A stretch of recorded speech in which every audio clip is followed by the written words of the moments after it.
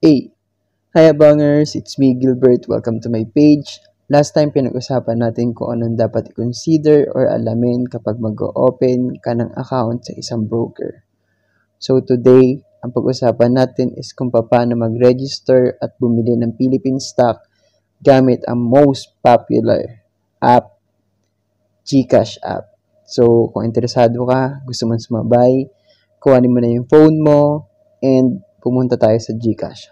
Let's start. Ito na yung phone ko. Anyway, punta tayo kay GCash. I-click mo lang siya, then enter mo yung password mo. Then, yan. Sabi ni GCash, paying for your NBI fees, settle them now and pay later with GCredit. Find out how. So, pinautang pa tayo ni GCash, pero hindi natin papansinin yan, sabihin natin, i-remind tayo later. I-click mo lang yan, then yun, makikita mo na yung homepage ni GCash. Siyempre, tatanggalin natin yung available balance, kailangan dot, dot, dot, dot lang yan, kasi nakakahiya, wala lang. anyway, punta ka dun sa GCash, nakita mo yan may peso sign na may paso, click mo lang yung G-Invest, then pupunta ka sa ganitong page. So, nakalagay dito under ni G-Invest, starting investing, meron tayong G-Funds, G-Stock PH, and G-Stocks Global. And meron pa tayong more options to grow your money. So, available na din kay Gcash app ang G-Crypto. Buy and sell and transfer crypto. So, pwede nyo na din siyang gamitin. And if you have more time, pwede kayong mag-learn more at magbasa dito. Pero ngayon, focus muna tayo kay G-Stock PH and you can trade in over 280 local companies. So, click nyo lang yan. Then yan. Pupunta na kayo sa Philippine Stock. Sabi dito, invest in local brands that you love. Philippine Stock Investments. So, may pa-welcome siya dito. Basahin natin. So, sabi ng pa-welcome dito, Welcome to Philippine Stocks. Sabi, si Gcash daw is not a broker-dealer. So, alam naman natin na si Gcash ay hindi isang broker. Tapos, next, uh, this Gcash app allows its user to open a trading account with their preferred or chosen broker-dealer as available in this app. So, yun, merong ka-tie app or merong ka-partner si Gcash na mga broker na, ayun, na, nakalist kay PSE or Philippine Stock Exchange.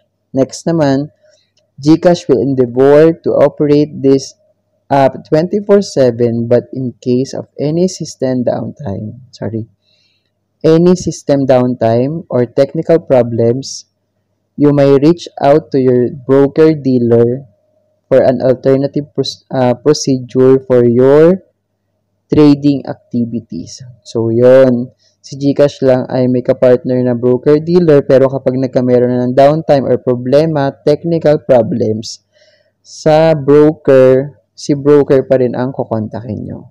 So, related pa rin to sa last video natin. Dapat alam mo ang mga dapat uh, alamin bago mo i-open or mag-open ka ng account sa isang broker. Yan.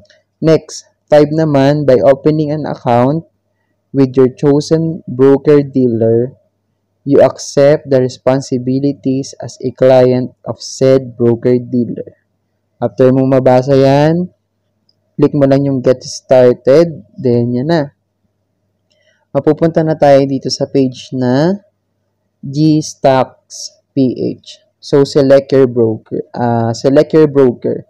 So, ang available pa lang as of now ay si Capital Securities INC.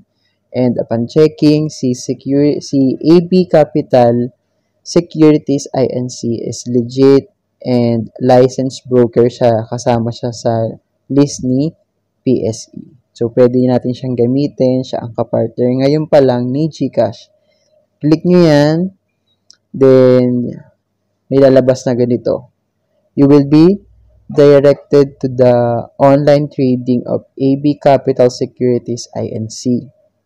To use, ah, sorry, to use the service, we share GCash information with ABCSI and by proceeding, you allow GCash to share your information with ABCSI. So, i-click nyo lang yung okay. Siyempre, allow natin siya. Then, register AB Capital na tayo. So, sabi dito, start your Philippine Stock Trading Journey.